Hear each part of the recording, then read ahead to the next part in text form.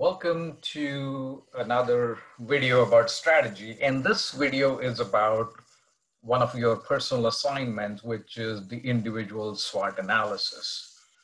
So this uh, assignment is for five points and it is a two to three minutes of presentation. So you will be presenting in the class. Um, and you have to submit the PowerPoint before uh, around five o'clock. So try to submit it before five o'clock on the class and look at the schedule to see what the due date is. Okay.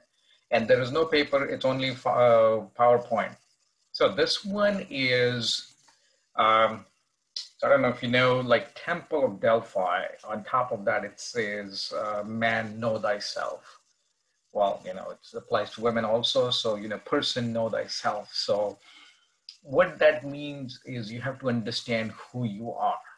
If you understand who you are, and uh, I've mentioned this also earlier, is like Sun Tzu also said, is if you Sun Tzu was, uh, you know, a, a general in the Chinese army, and this was hundreds of years ago and he said, if you just know yourself, you have won half the battles.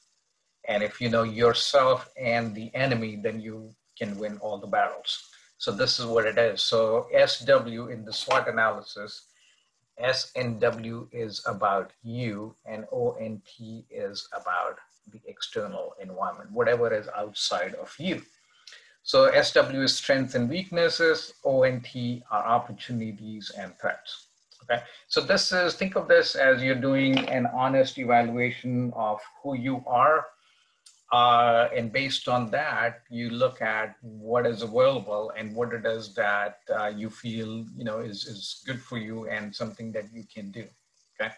Um, so try to be as honest as you can. Nobody's judging you. Uh, but the more honest you are, the more likely that you would be able to get help from me as well as since you're presenting, uh, some of those your classmates also could relate to that and may be able to uh, you know also help you. Like uh, sometimes uh, because of these assignments uh, there are some students who have also gotten a job like they're saying okay they have such and such experience and somebody says oh my company is looking for somebody with such and such experience. So you know try to be honest uh, and you know so so this is something that can help. So this is the structure is the first slide is introduce introduction who you are and some fun facts about you. Um, so I'll, I'll, start off with myself. Fun fact about me: uh, my dad wanted me to be an engineer. Uh, my mom wanted me to be a doctor, and guess what? I wanted to run away and become a magician.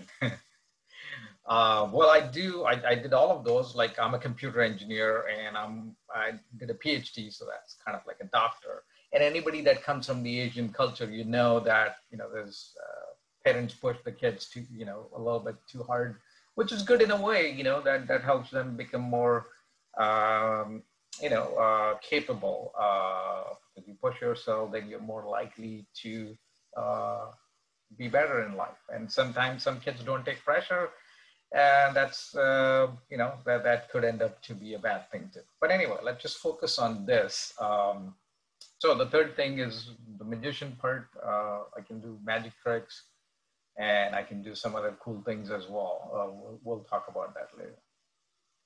Anyway so introduction is you introduce who you are. By the way um, there is a one video under additional videos which says you are contagious okay so the energy that you bring into the transaction, that's how people are going to perceive you. If you're like, you know, dull and down and you're like, you don't want to be there, that's how, that's the impression that you're giving other people.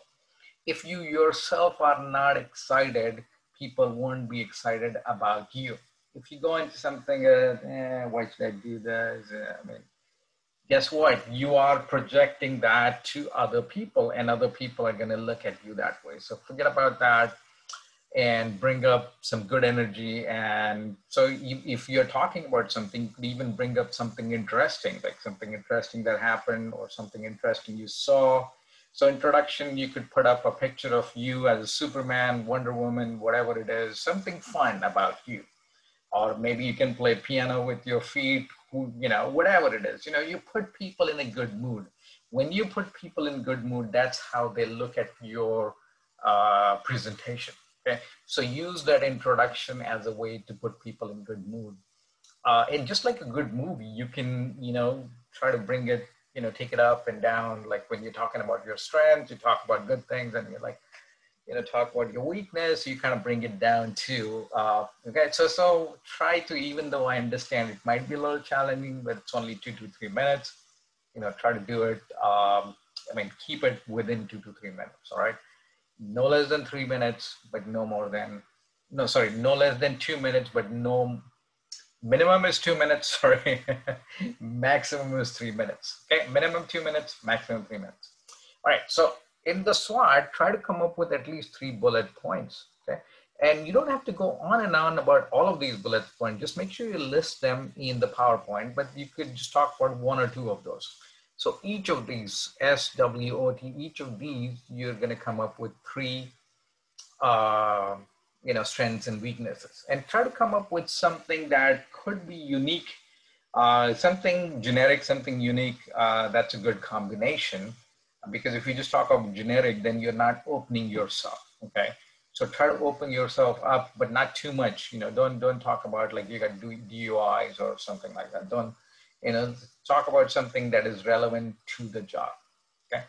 now, based on, so you did the SWOT, based on your SWOT, what is your goal in life? Talk about short term, mid term, and long term. Short term could be you want to pass this class and you want to graduate. Uh, midterm could be, you know, one to three, three years, like, you know, you want to get a job or you want to get a promotion. Long term is, you know, what is, you know, what do you see yourself in the future? Like, you know, what do you want to be? You want to be CEO, you want to start your own company, and how do you plan on achieving it? and then end your presentation with a strong conclusion similar to introduction if you start off with something good something funny something interesting and also on a high because that's how people will remember you most times introduction people are happy people you know like uh, whatever you're presenting if it's good you put them in a good mood sort of in the middle they kind of drift off but at the end you can bring them back and you talk about uh, you know something good, something interesting. Okay, and finally, how many points do you expect? Um, this is a way for you to kind of go through the checklist and see if you really did what you were supposed to do. And also try to include pictures, facts, figures to support whatever you're saying. So if you want to be like, you know, you say in terms of opportunity, if you say that, you know, there is tons of opportunity in cybersecurity, let's just say, say that. So you kind of include a graph to support that. Like, okay, look, you know, there are X number of like 100,000 openings, but there are only 20,000 people that have those skills. Okay. So don't, don't do too much, just one or two, you know, facts figure to support. Um, so that's it for this assignment and just want to tell you the do's and don'ts, okay? Most of the people try to wing it and that's where they have problems with the two to three minute part. So what happens is they've never practiced. So on the first one or two slides, they're spending like two minutes and then they have to rush through the other slides. Don't do that. Practice, practice, practice. Even like the superstars, you know, people that NBA players or, you know, uh, whatever, basketball, football, all these players, they actually practice all the time. The Olympic gold medalists, all these awesome people, they have to constantly practice. They don't, don't roll out of the bed and start doing things. Um, and if you watch uh, Seinfeld, one of the things he mentioned was the number one uh, problem or number one fear people have is uh, public speaking. Um, this is slightly better. You're doing it over Zoom, so you, you're not as uh, much exposed as you might think, but still people are afraid of that. And we are actually afraid of the things that we are not uh, familiar with. Okay, so what the Seinfeld joke was the number one fear is public speaking, which is about death. So what he was saying is the person would rather be dead, meaning lying in the coffin, than give the eulogy. Again, that's a joke, but uh, uh, so the best way to get over any problem is to actually confront it, to face it, to practice it, and that's how you can get over it. So the number one thing is make sure you practice. So you can uh, you can be sure that your presentation is minimum of two minutes and maximum of three minutes. So stay within that range. Anything below or anything above, your points may be deducted. All right. Um, the other thing that you want to do is make sure you make eye contact. Okay. Uh, don't look here and there. And it does, it shouldn't look like you're reading from the slide. It should, should look like you're talking about something you're excited about. Okay.